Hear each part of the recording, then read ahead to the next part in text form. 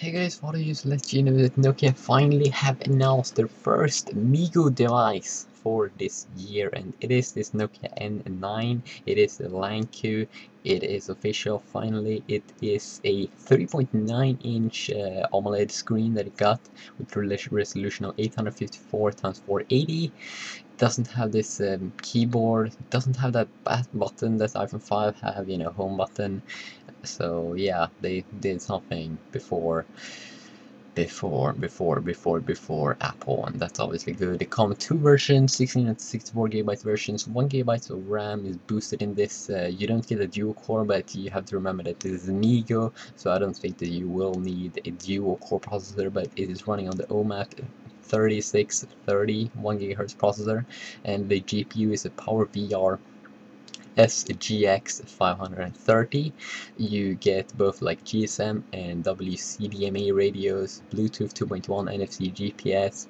you have a couple of buttons also not like a home button but you have this like a lock slash dedicated camera button. I'm not quite sure what it is yet but uh, then also like a volume up and down obviously. And then a good camera 8 megapixel and 720p video recording in 16.9 or 16.9 yeah that's that, that's very good. So if you're wondering about the battery time seems like the battery is capable of for music 50 hours uh, sound like that not, not that much but uh, I think it's kind of like uh, iOS devices and four and a half hours for 720p video if you're watching that 11 hours for GSM stuff. So that's obviously good Wi-Fi obviously. And uh, yeah so it is kind of like a cool device. So they have like uh, launched a lot of videos on YouTube. I will leave a link in the description to all of those good things if you want to watch the official stuff.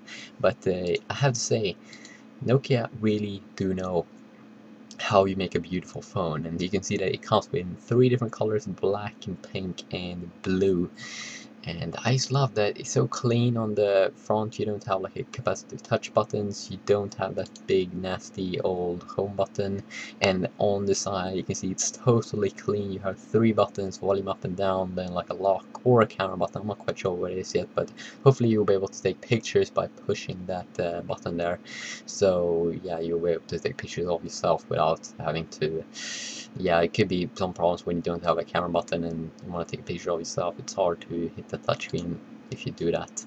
But uh, yeah I love this phone looks clean on the back. You have the Nokia there camera like in the middle and then you have the flash there on the left side.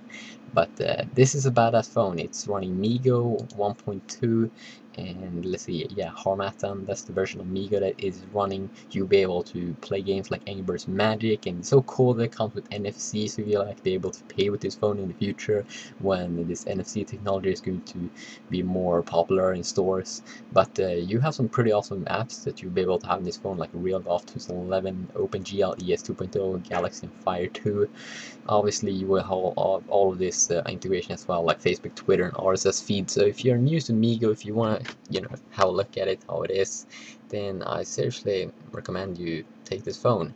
It's a quality phone but I'm still waiting for Nokia to release their Windows Phone 7 it doesn't seem like it's going to release that phone in on the Singapore event. So that kind of sucks but uh, still good phone awesome. Let's see